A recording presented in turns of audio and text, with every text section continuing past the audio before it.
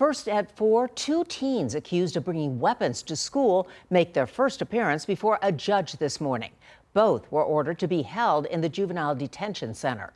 KENS 5 reporter Sue Calberg is live at the Juvenile Justice Center with new information on what the court called a scary situation. Sue?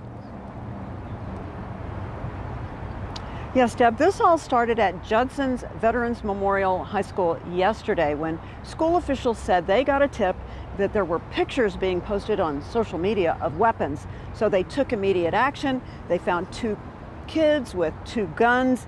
They arrested them, and that's how we got here today. Presenting the state. A 16 year old was first up before Judge William Cruz Shaw.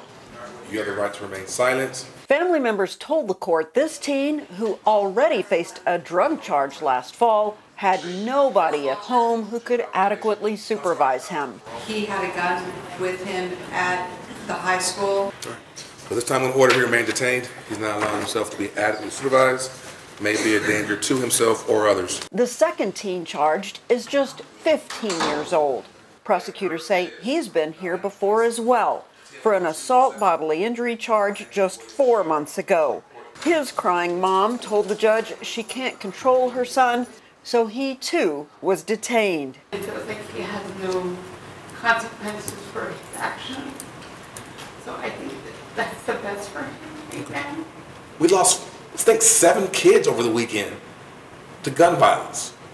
He thought it was a good idea to bring a gun to school. Does that make sense? I gotta hear you.